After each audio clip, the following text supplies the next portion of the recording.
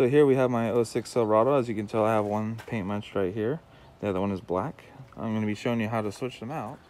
And right here is actually the new handles, color matched to the truck. As you can tell, there's three bolts. There's one to the left, one bottom, and one to the right with the little clip for the, the bolt there.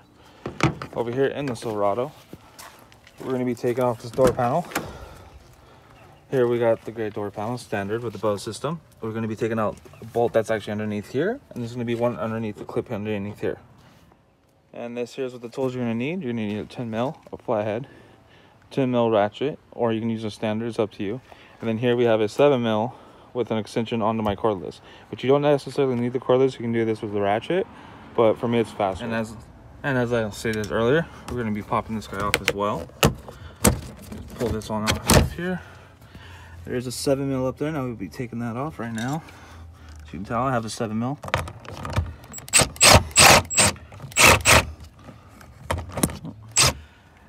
And once that's back off now for the 06s i've noticed this with the older from like 99 to 02 there aren't these plugs here and here but for the 06 there are. Um, i believe on this one here is a push clip on this side and a 7 mil on that side. As you can tell i'm pulling this out right now it is actual push pin. I did get the clip off on the right one which is this guy right here. Unfortunately it is not. It's actually a Torx. And last but least, before I do pop the door off, we're gonna be taking this little uh, lock button off, which just pops out. Easier if you have a uh, a tool, but I just have a flathead. And then lastly, should be able to just grab the truck, the not the truck, but the door panel by its handle and pull it. But now that you can tell I have the door panel off, there's some electrodes right there for the door switches. And of course my turn signal mirrors, which is right there and then the door panel light here. What I'm gonna do is I'm just gonna pull the door panel light off pull the door panel off and then go ahead and turn it and just let it sit like that as long as you have the little door light out. Now here, we gotta pull the plastic panel light back. Down here, I don't know if you guys can see it, but there's a one bolt in there.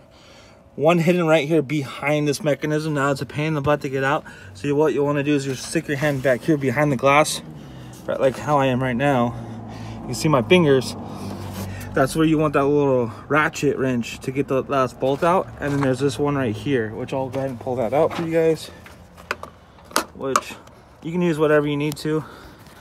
I'm just using a flathead right now. It's fastest for me. And then as you can tell the third one is in there.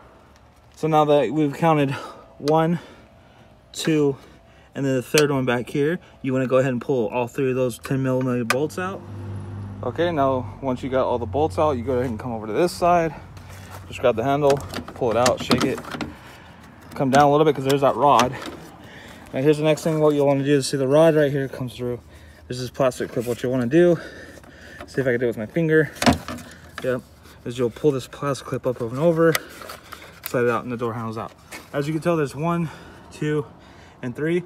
Of course, the bottom one you don't necessarily have to take off if you don't want to. I just choose to because it's easier.